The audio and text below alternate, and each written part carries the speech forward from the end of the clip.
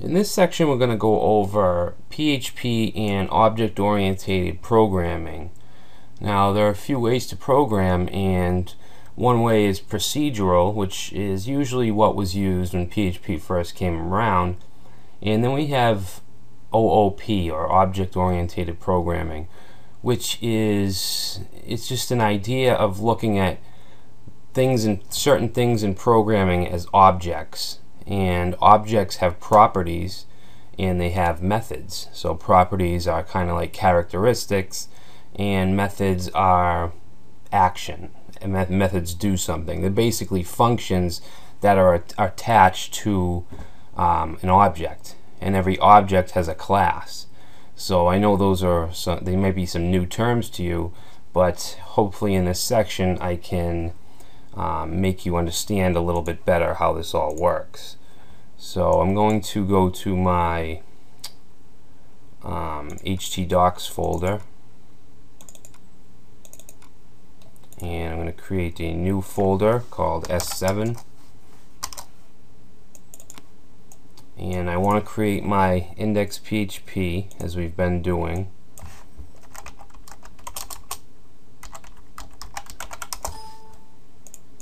Whoop, forgot the N and I'm going to create a new folder and I'm going to call that classes. Now we don't have to create this folder. We could just put the class file right in the in the root but it's good practice to have all your classes together somewhere. Um, sometimes the folder is called libs or libraries. Um, I'm just going to use classes. And we're going to create a class and you want to name the file after the class in this case, it's going to be car.php. So I'm using cars as an object just because it, we can relate it to a real life thing. It's a little easier to describe when you, you understand what the object is, you know what a car is, what it does, what characteristics it has. So I find it to be uh, a little easier to teach object-oriented programming in this way. So we have our index file. I'm going to open that up with Notepad as well as my car.php file. So we want to go to our browser and we'll go to localhost slash S7. Alright, so now we're ready to go.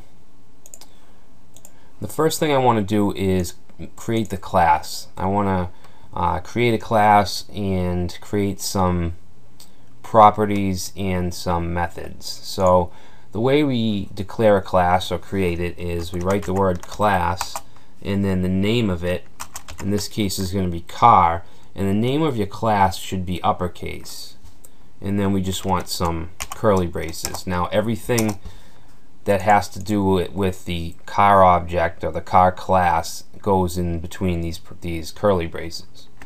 Now the first thing we can do is create some properties. So this should be pretty easy to understand. I'm going to create a property called make and I'll, I'll explain the public in a minute. I'm going to create a property called model and a property called color. Okay, so it's pretty easy to understand. Every car has a make, model, and color. All right. Um, what this public is, it's one of three access identifiers and three available access identifiers in PHP 5 is public, private, and protected. Now what public means is that you can access this make property anywhere at all out of the class, in the class, anywhere. It's available to anybody anywhere. If we have it private that means that nobody out of the class can access this particular property.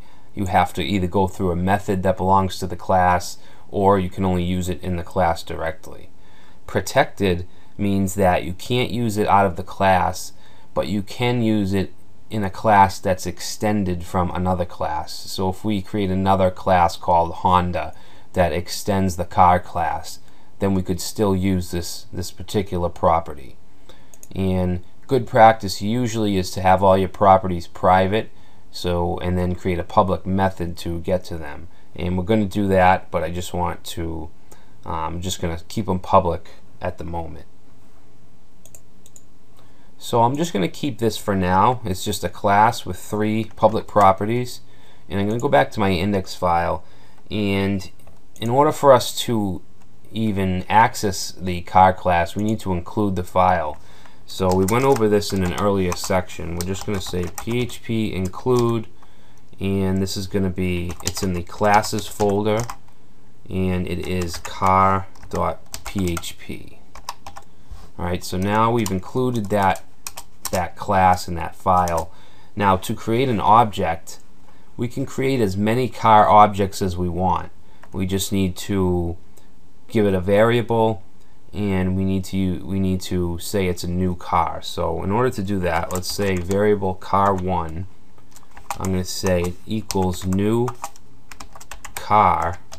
And that that should have uh, some parentheses. And the parentheses are actually optional. Uh, unless you have a constructor that's in your class and you need to give it some parameters, but I usually just keep it there. Um, so now we have we actually have a car, a car object, which is held in this car1 variable. Now we can we can assign properties to the car, either a make, model, or color, from this file only because these are set to public. So let me show you how we would do that. So we can say car1 make. So this is this um, hyphen and greater than sign uh, which looks like an arrow, is kind of, uh, it's saying that we want the make of the car1 object to be whatever we want. Let's just say Toyota. Alright, so now we've given our car object the make of Toyota. So we can actually echo that out. Say car1 make and if we reload uh, let's see, we say class car not found index PHP on line 3. Um, okay.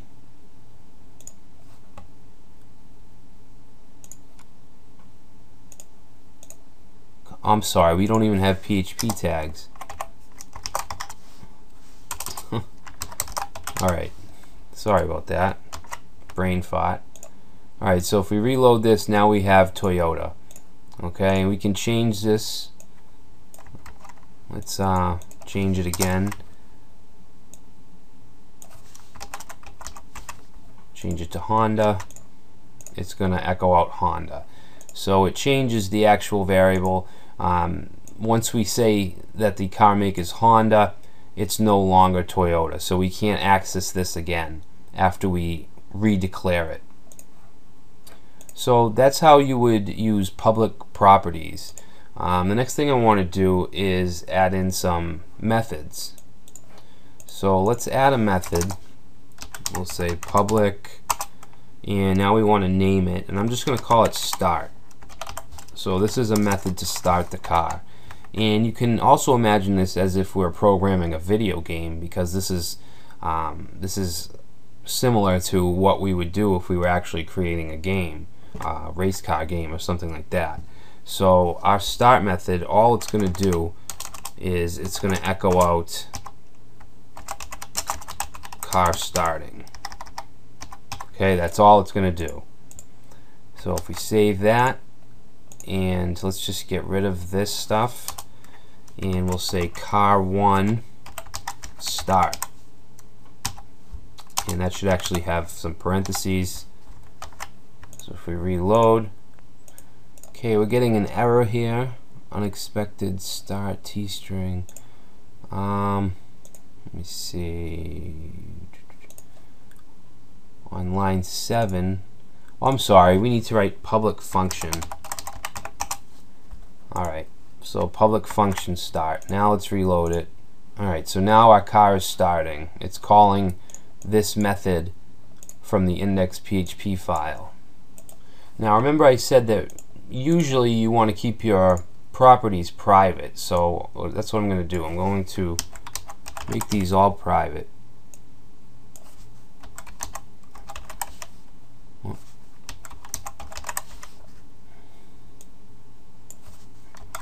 and I'll actually show you what happens if we try to access them. So let's say uh, car one make is Ford. So let's save that and reload. And you can see very blatantly it says we cannot access private property car make. Alright, so what we need to do here is, let's say we want to set the make to Ford. What we need to do is create a method to do that. So we'll say public function set make. Okay, so this should have a parameter of what we want the make to be. And then all it's going to do is assign a make. So what we want to do is say this make. Now this is a, is a keyword that you want to use whenever you're dealing with properties of the class. So if we're in a, in, in a function, I'm sorry, if we're in a property um, or a class function and we want to access a class property, we need to use this. So all this is going to do, this set make function or method, when I say function, method, uh, they use interchangeably. A method is pretty much just a function that's in a class. So we're going to say this make equals make, which is going to be what the user types in the parameter field. So we can save that and then we can go to our index file and now we can say car1 set make. And we can set the make. We can say let's say Chevy.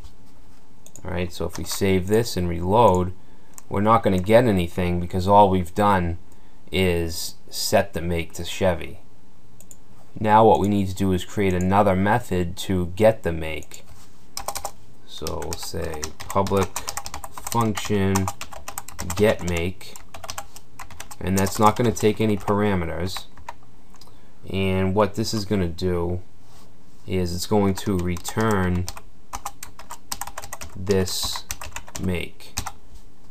Alright? So now we've set the make to Chevy. Now we can actually get the make. So we can echo out. I'm sorry we want car 1 get make. Okay, so save that, and we get Chevy. So we set the make, then we get the make. Pretty easy to understand. So the next thing I want to talk about is constructors. And a constructor is, all it is, is a method or a function inside a class that is ran when you create the class. So I mean when you create an object. So here we created an object. We created a new car. Now a constructor, we can have something happen when we when we commit this line, when we parse this line. So let me get get get rid of these set and gets. And I'm going to create a constructor. So and the constructor should always be the first function or the first method. So we'll say public function and it needs to have um, two underscores, and then construct. Alright, so that's how you will you can define a constructor. So in this case, let's just say echo car created. Alright, so what's going to happen when we create a new object, a new car object, we're going to get car created printed out. So this document, this index page, that's exactly what we're doing. We're creating a new car object. So if we reload, we get car created. I don't know why that Chevy is still printing out. Uh, wow, that's weird. Am I missing something? Oh, alright, I didn't save it. So it we're getting this printed out just from instanti this is actually called instantiating the class or instantiating the object.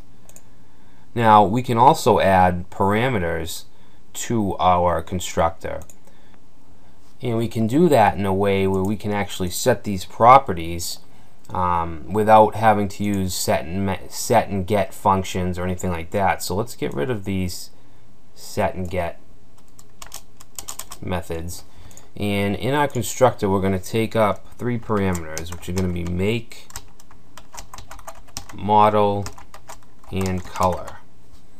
Alright, now if you remember, if we want to access these, we need to use this. We need to use the keyword this. So we're going to say this make is going to be equal to make. And this make is pertaining to this make. So what we're putting in through the constructor when we create the car is actually creating the properties. So next we'll do this model equals model and this color equals color. Alright, so now let's save that. So all we need to do now is input those parameters when we create the or instantiate the object. So we'll say Honda Accord Honda Accord and the color can be red. Alright, so let's save that. And we actually, it's good we got rid of the set make, or the all the sets, but we should create a method to get properties. So let's say public function, let's say get color. So again, this is just going to return this color. Alright, so now we've created a new car. It's a red Honda Accord. Now let's say we want to get the color. We can say echo car 1 get color. So if everything goes smoothly, this will be red. And it's not. It's undefined property, get color. Ah, uh, oh, we need our parentheses. So we get red because we defined the color as red when we created the new car. Now we can do the same exact thing. We can create another car object. It just has to have a different variable. So we'll say car 2 and we'll say this is a Honda Civic and it's blue. Alright, so we can echo out car 2 color is blue. So we're still echoing out the red, the car 1 color as well, so we have red blue. So that's basically that's the whole structure of object-oriented programming, especially in PHP. We have a class which has properties and methods, and a method is basically just a function that's in a class. And we can have a constructor which runs when we create when we create the object of a class.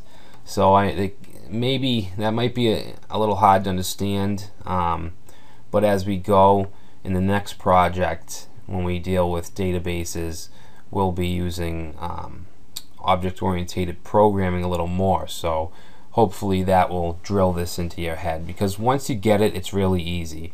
It's kind of scary when you first look at it, especially if you're not a programmer or if you're a procedural uh, type of programmer but it saves a lot of time and it, it, gives you a lot of code that you can reuse you know um, so it's it's really in the long run it's much more it's better. It's just better to program in this way. So that's it. Next we'll be getting into PHP and MySQL databases